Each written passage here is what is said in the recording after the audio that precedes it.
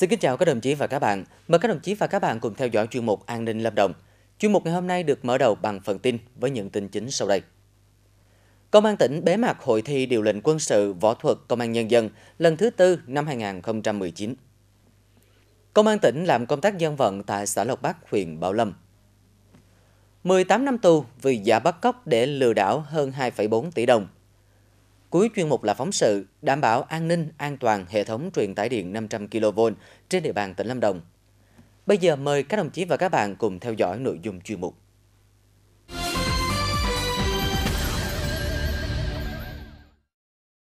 Chiều ngày 24 tháng 4, Công an tỉnh đã tổ chức lễ bế mạc hội thi điều lệnh quân sự võ thuật Công an Nhân dân lần thứ tư năm 2019. Sau 3 ngày thi đấu quyết tâm sôi nổi, 23 đội tuyển với trên 500 vận động viên đã đạt được nhiều thành tích cao ở 4 nội dung thi đấu. Kết quả phần thi duyệt đội ngũ xuất sắc nhất thuộc về phòng cảnh sát giao thông,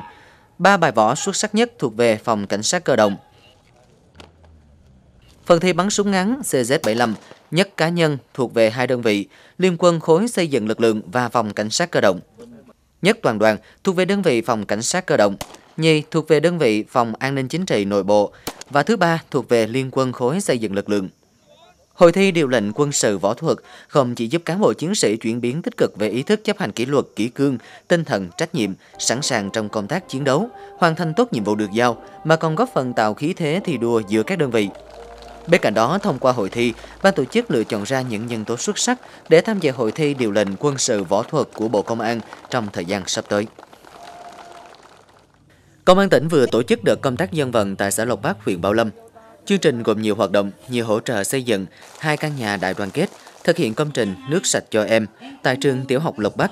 phối hợp xây dựng công trình nước sạch cho cụm dân cư và tổ chức thăm tặng quà cho các hộ nghèo với 50 phần quà. Tổng trị giá quà tặng và các công trình phục vụ dân sinh trong đợt dân vận này là 240 triệu đồng. Bên cạnh đó, Công an tỉnh phối hợp với chính quyền địa phương tổ chức các hoạt động tuyên truyền về phòng chống tội phạm, phòng chống tác hại ma túy, mại dâm, đảm bảo trật tự an toàn giao thông, tổ chức giao lưu văn hóa văn nghệ, hỗ trợ tư vấn, giúp đỡ, nâng cao chất lượng hoạt động của hệ thống chính trị cơ sở, xã thôn. Đây là chương trình ý nghĩa nhằm chào mừng kỷ niệm 44 năm giải phóng miền Nam thống nhất đất nước, 50 năm thực hiện di chúc Chủ tịch Hồ Chí Minh và thực hiện chương trình công tác năm 2019 của Ban chỉ đạo 502. Các hoạt động công tác dân vận không những tăng cường sự gắn bó giữa công an và nhân dân mà còn góp phần xây dựng khối đại đoàn kết dân tộc, xây dựng nông thôn mới vùng đồng bào dân tộc thiểu số. Do thời tiết nắng nóng và dịp nghỉ lễ 30 tháng 4, 1 tháng 5 kéo dài 5 ngày, nên lượng khách du lịch đến thành phố Đà Lạt nghỉ mát tham quan tăng cao. Tình trạng giao thông phức tạp, lực lượng cảnh sát giao thông công an tỉnh đã tăng cường lực lượng tuần tra kiểm soát, điều tiết, xử lý vi phạm giao thông trên nhiều tuyến đường trọng yếu, trên tuyến quốc lộ 20, lực lượng cảnh sát giao thông tăng cường kiểm tra xử lý nghiêm các hành vi phóng nhanh, vượt ẩu, tranh giành khách, chở quá số người quy định, đón trả khách không đúng nơi quy định, xe chở quá tải, làm tăng nguy cơ tai nạn giao thông. Đặc biệt, lực lượng tuần tra kiểm soát tăng cường tuần tra trên đèo Brent, đèo Mimosa nhằm xử lý nghiêm các hành vi lấn làng lấn đường, chạy quá tốc độ.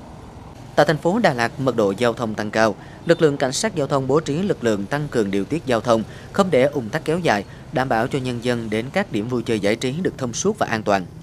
Bên cạnh đó, ý thức tham gia giao thông của người dân như đội mũ bảo hiểm, đi đúng phần đường, làn đường, không sử dụng rượu bia khi tham gia giao thông cũng góp phần quan trọng đảm bảo an toàn cho chính bản thân và người tham gia giao thông.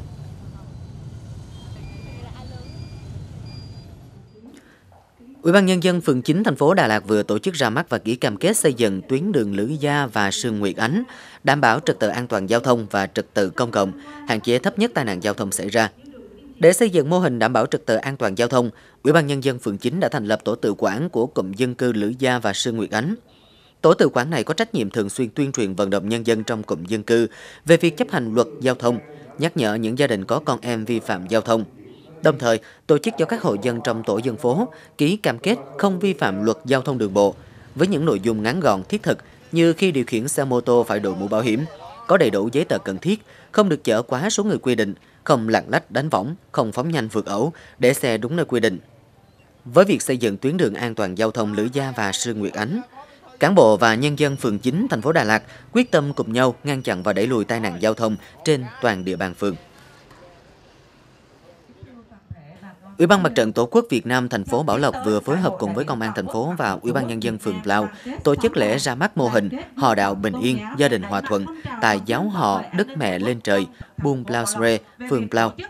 Buôn Plau Sre có 103 hộ dân đồng bào dân tộc thiểu số gốc Tây Nguyên với 100% theo đạo Thiên Chúa. Mô hình họ đạo bình yên, gia đình hòa thuận được xây dựng với mục đích tăng cường công tác tuyên truyền các chủ trương đường lối của đảng, chính sách pháp luật của nhà nước tới đồng đảo nhân dân, qua đó giúp người dân nâng cao nhận thức trong việc chấp hành pháp luật, xây dựng gia đình hòa thuận hạnh phúc. Đồng thời, phát huy tốt tinh thần kính Chúa yêu nước và sống tốt đời đẹp đạo. Tại lễ ra mắt, các ban ngành đoàn thể của phường Lao đã tiến hành ký cam kết với đại diện giáo họ cùng các hộ dân. Hiện phường Lao có 8 mô hình trong tổng số hơn 40 mô hình của thành phố Bảo Lộc đang phát huy kết quả. Những mô hình này đã và đang góp phần tích cực vào việc đấu tranh, phòng chống tội phạm, đảm bảo tình hình an ninh trật tự và an toàn giao thông trên địa bàn.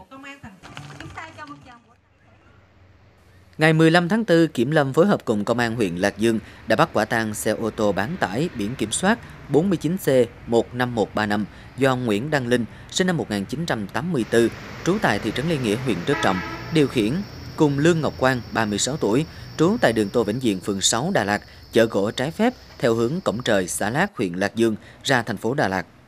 Bước đầu, hai đối tượng khai nhận số gỗ trên khai thác từ một cây thông cổ thụ tại khoảnh 3 tiểu khu 110, xã Lát. Khám nghiệm hiện trường, lực lượng chức năng phát hiện một cây thông hai lá dẹt khoảng 100 năm tuổi, đường kính gốc 1,1 m và một cây bạch tùng, đường kính gốc 62 cm bị cưa hạ. Gỗ phân thành khúc, tổng khối lượng lâm sản thiệt hại gần 13 mét khối. Hiện vụ việc được chuyển cho công an huyện Lạc Dương điều tra làm rõ. Ngày 19 tháng 4, Công an thành phố Bảo Lộc bắt quả tang nhóm đối tượng đang đánh bạc dưới hình thức sóc đĩa tại một khu rừng thuộc xã Đại Lào, thành phố Bảo Lộc. Tại hiện trường, công an thu giữ tài chiếu bạc trên 10 triệu đồng và một bộ chén đĩa các quân vị. Ngoài ra, kiểm tra trên người các đối tượng, lực lượng công an còn thu giữ trên 110 triệu đồng, 24 điện thoại di động, 21 xe mô tô và hai ô tô các loại để phục vụ công tác điều tra. Hiện Công an thành phố Bảo Lộc khởi tố và bắt tạm giam 3 tháng đối với hai đối tượng cầm đầu về tội tổ chức đánh bạc đối với Nguyễn Văn Hiệp, 41 tuổi, ngụ tại xã Lộc Châu và Đỗ Thị Kim Thủy, 47 tuổi, ngụ tại phường Lộc Sơn, thành phố Bảo Lộc. Ngoài hai đối tượng chính của vụ án thì Công an thành phố Bảo Lộc còn khởi tố 18 đối tượng khác tham gia sòng sóc đĩa này. Ngày 4 tháng 4, Công an huyện Đức Trọng đã ra quyết định khởi tố 3 bị can Lê Anh Nam, chú tại huyện Mộc Châu, tỉnh Sơn La, Lý Lâm Mạnh Huy và Nguyễn Thành Lộc cùng chú tại thị trấn Liên Nghĩa, huyện Đức Trọng để điều tra về hành vi trộm cắp tài sản và tiêu thụ tài sản do người khác phạm tội mà có. Đấu tranh với tội phạm trộm cắp xe máy, ngày 23 tháng 3, Công an huyện Đức Trọng kiểm tra nơi tạm trú của Nguyễn Duy Long ở xã Liên Hiệp, huyện Đức Trọng, phát hiện Long đang giã xe máy không rõ nguồn gốc để bán phụ tùng. Tại đây, lực lượng công an đã thu được 3 xe máy hiệu Sirius không rõ nguồn gốc. Khám xét người Long thu được 28 gam ma túy đá. Thu tại xưởng giã xe của Long nhiều máy móc để làm giấy tờ giả như máy tính, máy in, máy scanner, máy ép dẻo và gần 30 giấy đăng ký xe, giấy chứng minh nhân dân, trong đó có nhiều giấy giả. Ngày 29 tháng 3, Công an thành phố Đà Lạt đã bắt giữ Lê Anh Nam và chuyển giao cho Công an huyện Đức Trọng để đấu tranh. Mở rộng điều tra, ngày 1 tháng 4, Công an huyện Đức Trọng tiếp tục bắt giữ hai đối tượng tiêu thụ xe do Nam trộm cắp là Huy và Lộc. Tại cơ quan công an, Nam khai nhận đã thực hiện 11 vụ trộm cắp xe máy, sau đó đưa cho Huy tiêu thụ. Huy mang xe đến cầm cho Long và Long làm giấy tờ giả để đưa xe đến cầm tại các tiệm cầm đồ để được giá cao. Có nhiều xe Long đục lại số máy, số khung rồi làm giả giấy tờ cho hợp lệ. Đây là nhóm đối tượng hoạt động chuyên nghiệp, Nam, Huy và Long đều nghiện ma túy và có nhiều tiền án. Hiện Công an huyện Đức Trọng đã thu hồi 5 xe tăng vật và đang đấu tranh mở rộng vụ án, củng cố hồ sơ xử lý với các hành vi vi phạm pháp luật của Long, Nam, Huy và Lộc. Với tội danh lừa đảo chiếm đoạt tài sản, bị cáo Nguyễn Văn Toại, sinh năm 1982, trú tại huyện Gia Lộc, tỉnh Hải Dương đã bị Tòa án Nhân dân tỉnh Lâm Đồng tuyên phạt 18 năm tù giam trong phiên xử sơ thẩm diễn ra vào ngày 18 tháng 4. Theo cáo trạng, giữa năm 2017, Toại tình cờ quen biết bà Đỗ Thị Tình, trú tại huyện Di Linh qua mạng xã hội và giữa hai người thường xuyên nói chuyện qua lại. Đến tháng 5 năm 2018, Toại từ Hải Dương vào nhà bà Tình thăm chơi. Hai ngày sau thì về tỉnh Long An. Tại đây, Toại nói dối rằng hắn đã ly dị vợ được 6 năm. Biết gia đình bà Tình khá giả, bà Tình lại có tình cảm với Toại nên Toại nảy sinh ý định lừa đảo. Hắn bịa ra lý do làm mất giấy tờ, đề nghị bà Tình cho mượn 20 triệu để đi lại và tìm mối làm ăn.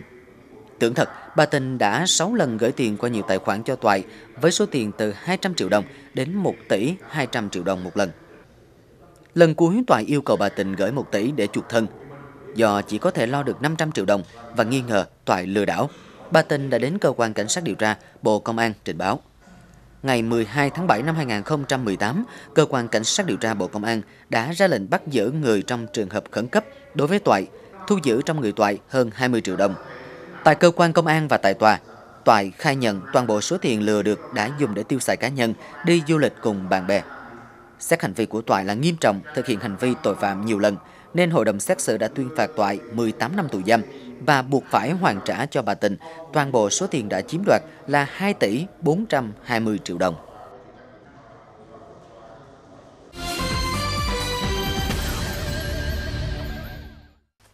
Thưa các đồng chí và các bạn, việc đưa hệ thống truyền tải điện 500 kV vào danh mục công trình quan trọng liên quan đến an ninh quốc gia – theo quyết định số 1944 ngày 4 tháng 12 năm 2017 của Thủ tướng Chính phủ là sự đánh giá đúng mức tầm quan trọng đặc biệt của hệ thống truyền tải điện 500 kV nói riêng và hệ thống truyền tải điện nói chung trong chiến lược phát triển an ninh năng lượng quốc gia.